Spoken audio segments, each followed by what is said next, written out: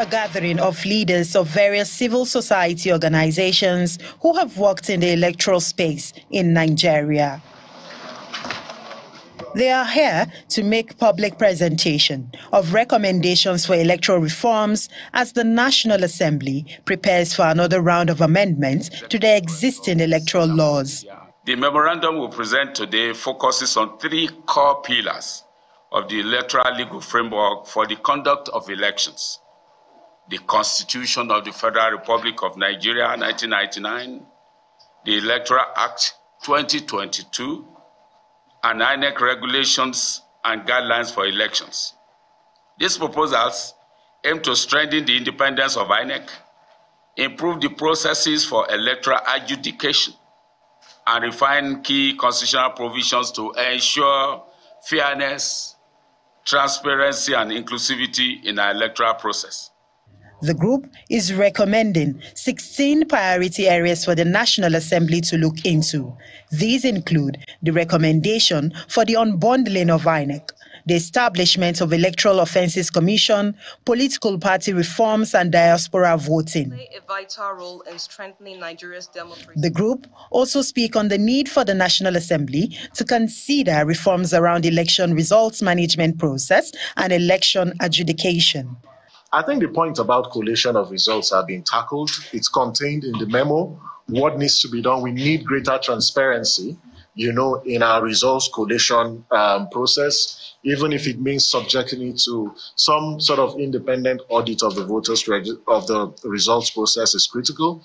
In this memo, we also have provisions around how to strengthen the election adjudication process, and more importantly, We've advanced detailed recommendations on issues relating to the timelines for concluding election um, disputes. We also look at the need for the courts to, um, in the course of um, addressing or resolving electoral disputes, be guided by certain democratic values and, and principles. The group hopes to pass the documents to the National Assembly to serve as a crucial resource as the lawmakers embark on a fresh electoral reform exercise. Take this, you know, to the National Assembly so that uh, All right, well, we have to start that conversation right now, and it's got to do with the elections and civil society organizations. Recently, we got uh, a very interesting uh, write up, really, let's put it that way, from the All Progressives Congress, criticizing civil society organizations. In fact, particularly Yiaga Africa, uh, whose director you saw there, Mr. Samson Itodo, uh, on that report, uh, accusing them of, of not knowing what their boundaries are. Are they crossing the line? And, and these recommendations that have been made, these recommendations that have been made by these these civil society organizations that we saw in that report, uh, they're going to move that to the National Assembly, we hear. What sort of results can they get from that? It's not the first time they've said this sort of thing. Uh, so, so what's the outcome? What improvements have we had in our electoral process since then? Well, join us right now to answer these and more questions. We have Mr. Victor Giwa, who's an election observer. He's joining us here in the Abuja studios. Thank you so much for being with us on the program. Thanks so much for having me. Last time I saw you was in Edo. yeah, yeah I was in it. How, how was it? Yeah, it was fine. I was in that. I was one of, the, of course, one of the INEC uh, accredited observers. Yes. I observed with my team the elections. I was at the coalition center, so I saw it all from the beginning to the end of the process. You know, so that we can have a full grip of what really happened. An overview of that process in, in, in your mind. Can we, can we hear what your thoughts are personally? Yeah. Before okay, we get yeah. into civil society. Okay, yeah. So firstly, it was um, it was supposed to be a very fair process. The the I was happy with what I saw from the beginning of the exercise. Of course, from 8:30 when it was supposed to start. Of course, a lot of um, the polling units did not open us at that time. Then towards the end, in in each of the polling units, where the counting of the votes and recording of the vote and uploading of the results to the IREV, I was happy because uh, the impression we had before the election on that day was this issue of violence. There's going to be violence based on the vitriolics coming from the politicians, tension, the, the whole uh, environment was heated up. But we saw little or I didn't, you know, there was no report from my own observers, about 40 of them that were sent to the to the you know 18 local governments of any any sort. So I was really happy. Unfortunately, that that is my state. So I was excited that oh the Edo people have come out, you know. But it was just after the collection of results at the unit level, then we started hearing about you know issues of coalition at the local government uh, level, and um, of course getting to the coalition center, the final result, I I just felt that there were a lot of things um, that went wrong that was supposed to have been addressed. You know, one of the things that really stood out for many of us from this election was buying. In fact, we heard the Labour Party candidate, the governorship candidate for the Labour Party, Mr. Olumide Akpata, uh, yesterday, I think it was on, on Politics Today, where he said, look, we basically went into this process, we went into a gunfight with a penknife. That's what he said. He said, we, said we, we, went, we went into a gunfight with a penknife and we didn't have the money. We, uh, and, but he instructively said, even if we did, we wouldn't have been vote buying. Yeah, it, but but it, it does feed into the narrative that we've gotten about the elections in, in Edo. It was willing buyer, willing seller. In fact, those were his words: willing buyer, willing seller. So uh, everyone just came there to make some money, made some money, and and left. No, well, I, I... He even said people from his party.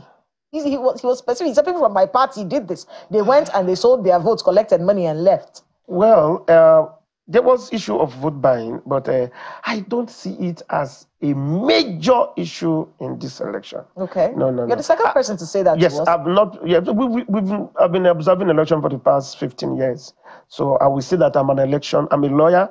I belong to a civil society organization. Yeah. I, I can put myself as an election expert. So, from what we have seen in the past compared to what happened in the Edo election, uh, the issue of vote buying, uh, if amongst one to five, I don't think it will be four. What was the biggest issue for you? The, the biggest issue is the wrong coalition of results at the at the at the and the militarization of the process. Yeah, because the, the heavy amount of security and security interference with the process. To me, that is the major issue. So whether you know people, uh, we were at the polling unit, we knew that somehow people seem to come into the polling unit with the intention to to vote and maybe be compensated for it with any form. But if you look at the electoral process itself, from the places of campaign to where the, you start voting, mm-hmm. you cannot you cannot demonetized money from the politics. People go into elections, you buy, you give, you within your campaign, you tell them, you give them money, you buy things for them. That is where the monetization starts. So Nigerians and the voters, of course, because of the level of intelligence and because of the failure of leadership and governance, people see that opportunity as, oh, this is the this is one time that we think that uh, maybe we will just get for coming to exercise. Of course, wrongly as it were, but you know, it's something they do in this particular instance, except in very remote cases where you see it brazenly. You know, but you see people, you will know that somebody voted, and so the one of the agents will say, "Have you voted? Okay, go that go your go that way." It maybe he's telling you go that way to collect, uh-huh. you know, something and of that. But again, how are you sure that the the person who voted, which is that is which is a secret process. You know, it's, it, the thing is a closed system. It is not. You don't show your ballot paper. INEC has been able to provide you know laws on modalities where you don't have to, unlike what they were doing before, where you go to the your the voting cubicle, you cast your vote, you snap it, and you show it to the agent that look, oh, I vote for party A, and the party agent tells you, okay, good, you are entitled to your. no, that wasn't what we saw. It was just promissory. People say, okay, if you vote for me, I may give you A, and the person goes and somehow, you know. So we can't really, you know, say that is exactly what changed the narrative. If anybody says that, that person is not stating the facts. It, it, the conversation around electronic voting also came up as a, as as a result of the um, Edo elections. You know, people think if if we had electronic voting in our system, maybe some of these irregularities that are being reported would not be as rampant. Uh, but but we did hear former President Goodluck Jonathan say electronic voting is not the solution. Where do you stand on you, electronic voting and what it can do to Nigeria's electoral process? You see, the truth of the matter is this Nigerians seem to be confused about what where the problem lies. I've listened to a lot of analysts and they say, oh, technology, like okay, Goodluck Jonathan have mentioned the fact that to him, this Edo election shows that technology could not even, could not solve our problem. Mm. But I can tell you where the problem is. The problem is in our willpower. Our politicians have refused to obey the laws. Politicians have refused, have, have chosen to breach the law brazenly. And I will give you an example. Let us take the issue of vote buying, Edo State, as a case study. If you accuse any political, political party of vote buying, who are the political parties are you accusing? Let us look at the two major parties, the PDP, the APC. Who are the APC? They're the government in power, presidency. Who are the PDP? They're the government in the state. Edo State is, is governed by a, governor who is from PDP. Vote buying, is there an offense? Yes, it is. So why are you people involved in it? So you could see that the politicians themselves are breaching the law. So our problem is not it's not the question of the law or what if you bring the computer, I can tell you politicians can even steal the device. So it is the problem is not the law. The problem is not the device. Section 40, sub 2 of the Electoral Act says that the process of voting will commence by accreditation through the smart card reader, which in this case is the BVAS. But I can submit to you that a lot of results were announced that did not pass through the BVAS. Question Why didn't you use BVAS? Section 40 says that when any process is done without the BVAS, that place should be recorded as no election. How come there were elections in units that agents now came up to say, oh, we didn't use BVAS. That is the question. Who are the people that are supposed to be in charge? Who should raise the, who should raise the flag? Candidates have their political agents in every unit. The language used by the Electoral Act is the candidate or his political agent. Mm. Every political agent, every political, every candidate that participates in the election, they are supposed to have a candidate in that unit. Election is conducted at the unit. As a matter of fact, we have seen cases where people say, "Oh, it was at the collation center. They did whatever." If you undo your unit very well, election is conducted you take your result sheet, which is you are entitled to as a political party agent or a candidate. You can correlate it inside your party room and come back. You see, the electoral that's why I said it's not the issue of whether you're using device, whether those things could reduce the risk of corruption and compromise in the process. Mm. But let me tell you, a willing mind that is ready to compromise will, will, will bypass all the process. We abuse the law. We abuse the device. We compromise the device. We compromise officials to ensure that they want to arrive at what they intended to do. In your view, the elections in Edo State, were they free, fair? No, the, the, the result, the process was free, was the but the result was not fair. Okay, so the process was free. And, and, you, and I can tell you why I got to that point. I want to, I want to be able to be clear on that. Good. So the process... The process was free. Mm-hmm the result was not a fair result. How so? How does that work? Correct. The new electoral act tells us that you can have a fair process and a wrong result. How does it happen? During the collation of the result, somebody at the point of collation can just add and remove. And the law also made a provision under section 46, so section 6, mm. to say you can correct errors in the result. So you think the elect the results were manipulated? I, yes, I felt that the results were not corrected. The, the results were not correct. APC wrote a letter to civil society organizations, Yiaga Africa in particular. And I want, I want to read part of what they said, and, and you tell me what you think. Alleging that results were manipulated without hard facts and figures, but based on some statistical guesswork, is clear disservice to the electoral process. Yiaga Africa's report is a travesty, replete with methodological flaws, politicized observations, inconsistencies, inaccuracies, and calls its credibility into question. Election observer missions are not election management agencies and cannot usurp INEC's, INEC's statutory authority as the sole election management body in Nigeria. Doing so will constitute a clear breach of the Electoral Act and the Constitution of the Federal Republic of Nigeria. Correct. Correct.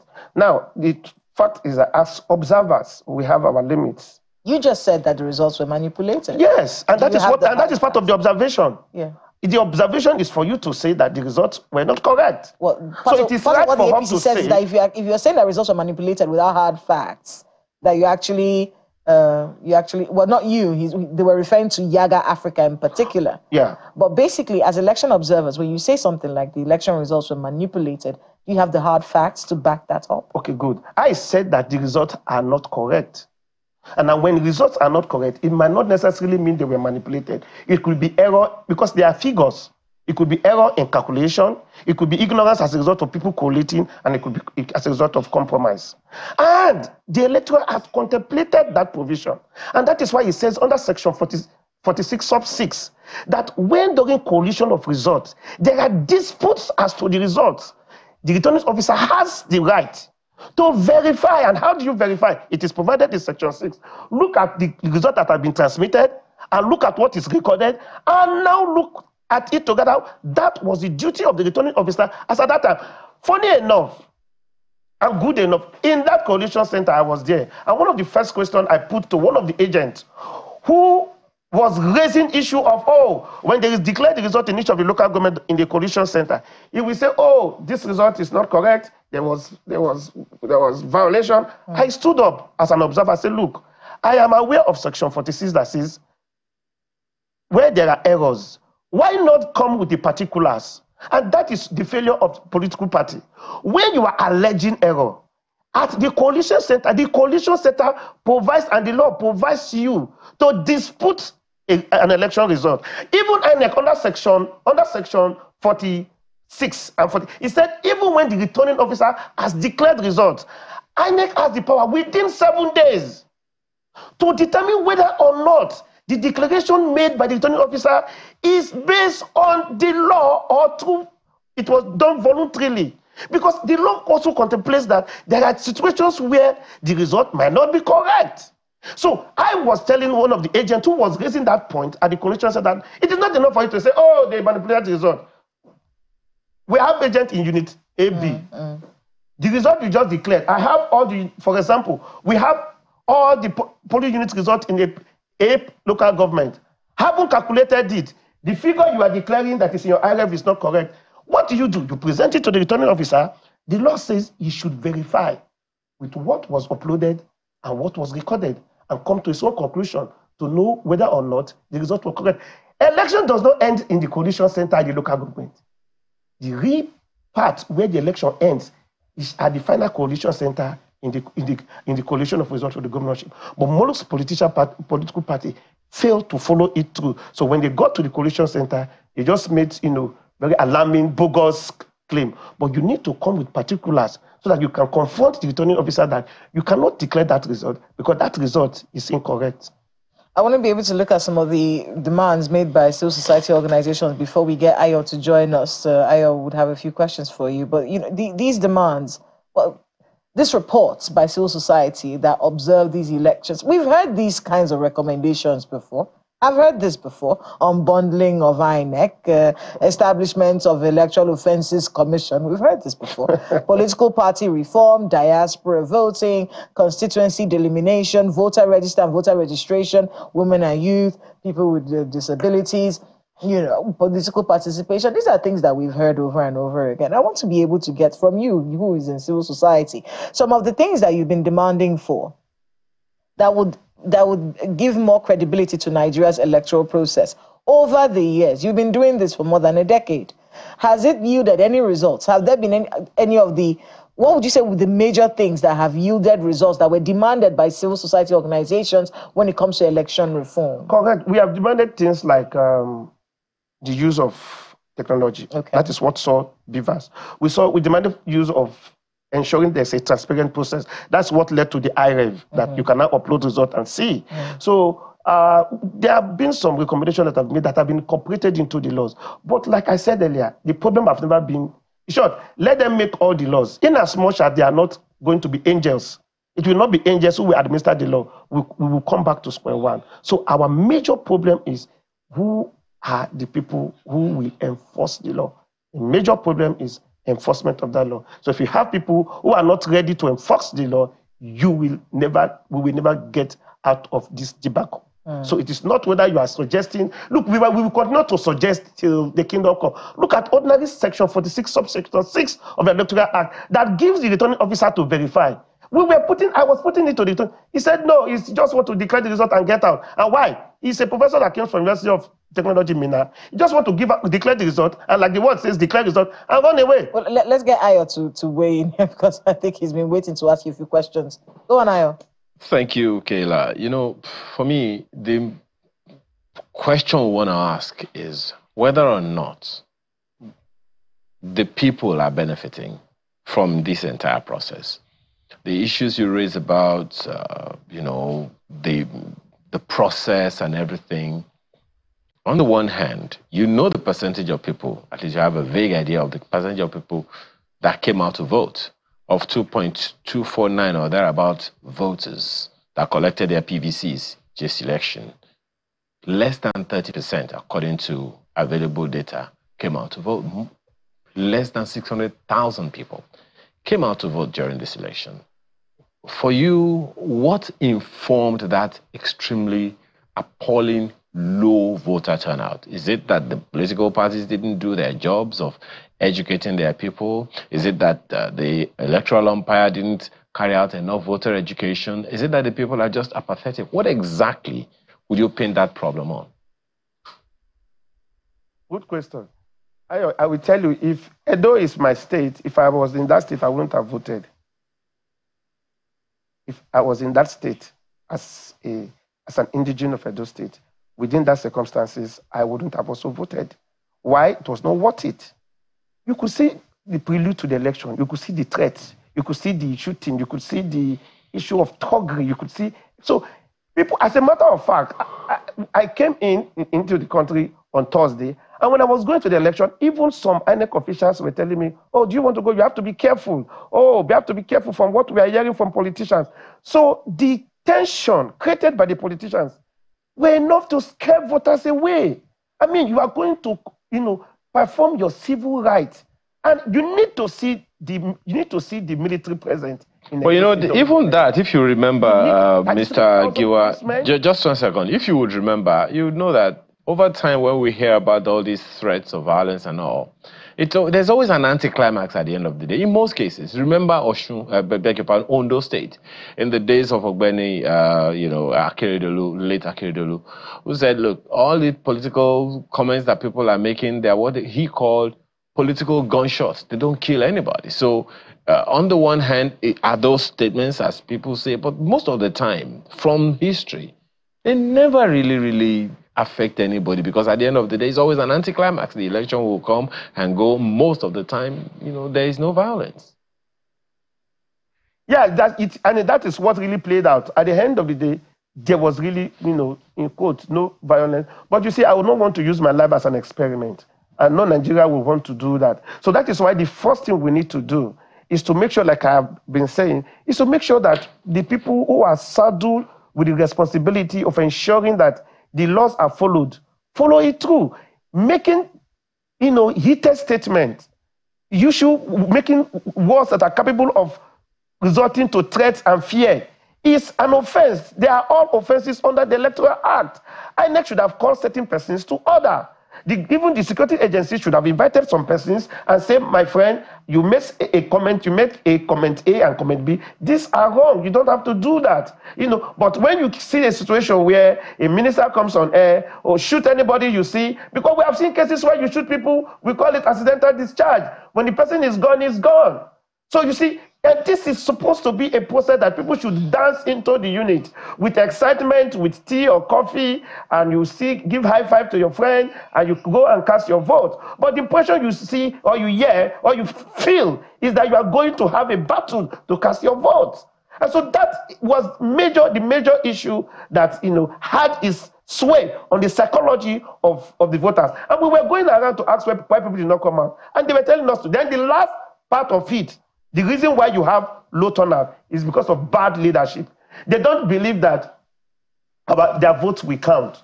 And like we could see, a party is telling you that he won, and the, the other party, eh, another party was declared as the winner. So the populace are saying that, look, if we take our time to go to that queue and cast our vote, in the final analysis, my vote will not count. My vote will not count. So why do I need to go there? And that is why you see people go there and ask for money because they know even why they are casting their vote. At the end of the day, the vote will not count. So that is the those are the major reasons why you see low turnout during the Edo election. I mean, Mr. Victor, you were uh, listening to you when you know. I know you mentioned earlier that voter uh, vote buying wasn't, in your view, one of the major issues, but one of the problems that at least people like us who are who have to listen to these things all the time. One of the things we worry about is that poverty could be weaponized. You know, and and the poorer people get, the less morals they would have, the less convictions they would have. They would want to be able to make as much money as possible. You know, so so in many ways, it, it is one of the biggest fears when it comes to vote buying. We, the, the, I can't wait for 2027. You know, is the is the money going to increase? What, what's going to happen? Is it? I mean, we, it, it's it's something that we'll have to talk about later. Me and you, we'll have that conversation after. But I want to thank you very much Thank you so much for having me. for being with us on, on Sunrise Daily, Mr. Victor Giwa, as an election observer. Thanks again. Thank you for having me. And let's take a look at some messages. Professor Imonoka uh, and uh, Festus Akimboewa, we can see both of your messages. Uh, I hear that we don't have enough time to take them. I apologize, and we'll take a look at your messages tomorrow. I give you my word. I want to thank you very much for being with us. It's Thursday. Have a great day ahead. I'm Kayla Megwa. Good. Accountability will play out tomorrow morning. I'm holding you by that word. Amaya Makide, do have a productive day.